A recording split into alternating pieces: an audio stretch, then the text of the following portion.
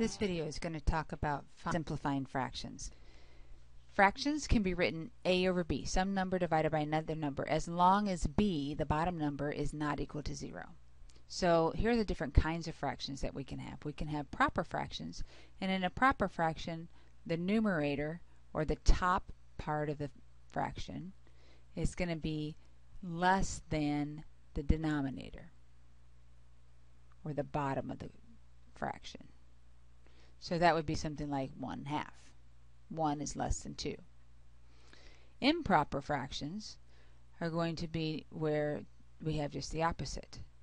The numerator number is going to be bigger or greater than the denominator number.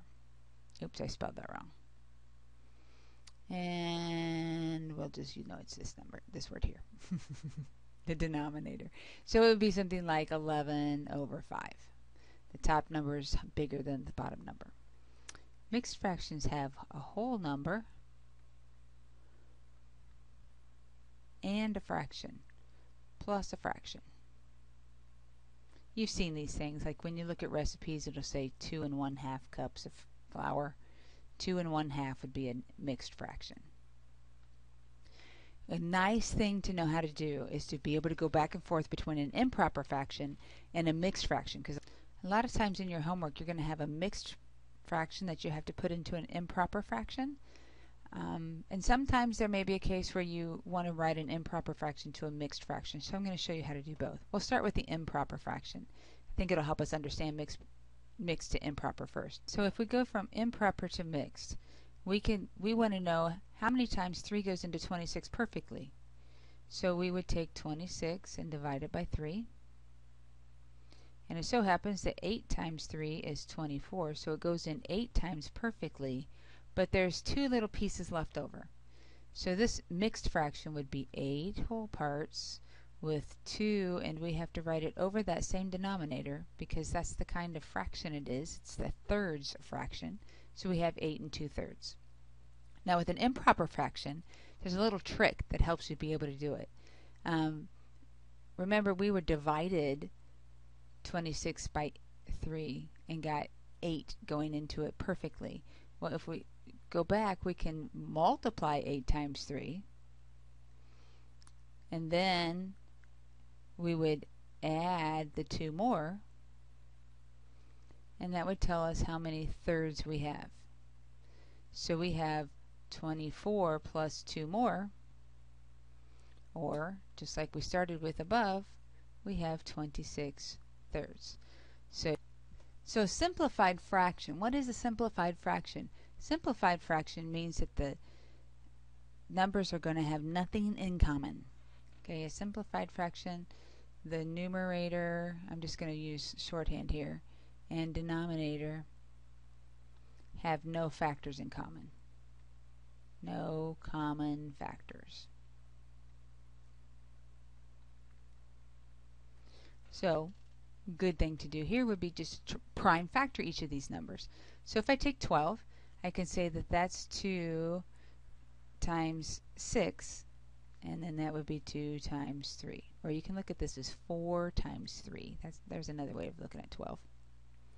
And then 15 would be 3 times 5. Now I have everything prime factored, and then all I need to do is find the common prime factors top and bottom. And they both have a 3. The top and the bottom have a 3. So they are really a factor of 1.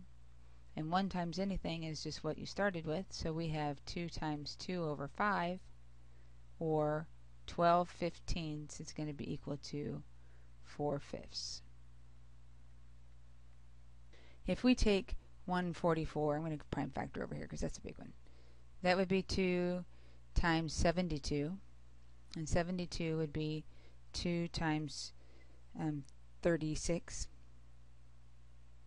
And 36 would be 2 times 18, and 18 would be 2 times 9, and 9 would be 3 times 3. It's a lot of factors. So 2 times 2 times 2 times 2, 1, 2, 3, 4, and then two threes.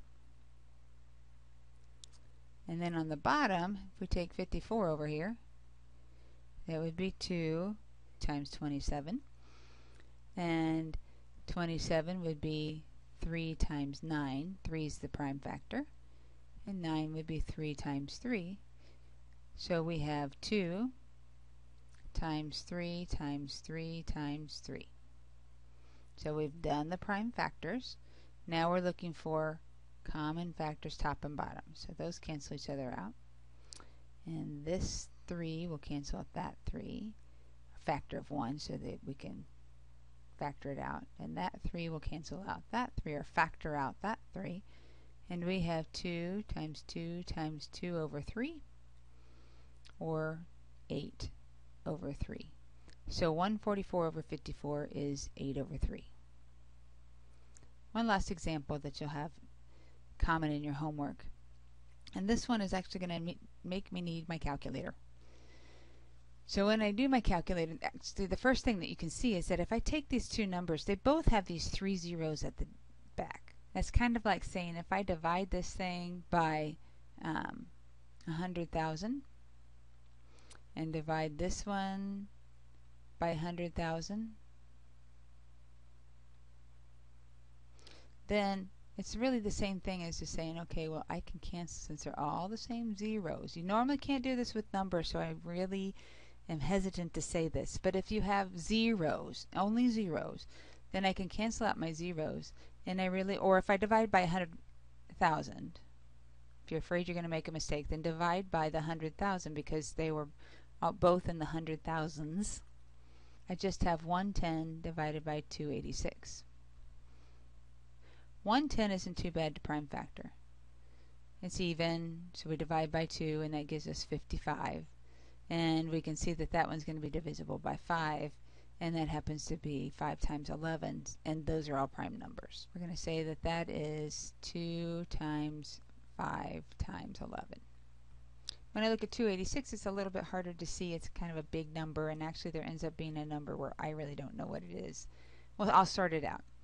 286 is even, so I'll divide by 2, and then that gives me 143. And now I'm stuck. It's not an even number, it doesn't divide by 5, and I might divide by 3 because you see that 3, but it really doesn't divide by 3. So here's the trick. You take your number, 143, and start dividing it by prime numbers. I know 3 doesn't work, 2 doesn't work, 5 doesn't work, uh, 7 is not going to work because if I do 7 I'll go into 14 but then I'll have this 3 left over. So 9 might work but 9 doesn't work because it gives me a decimal. So try again. 143 divided by the next prime would be 11. And if I divide that by 11 I get a perfect number of 13. So that means that 143 is 11 times 13 and now 2, 11, and 13 are all prime numbers. So I have 2 times 11 times 13. And you can see that they both have 11. So there's a factor of 1. Leaves me with 2 times 5 over 2 times 13. And 2 times 5 is 10. And 2 times 13. Oh, I have a common factor. Always double check that. I had another common factor, so it's really going to be 5 over 13.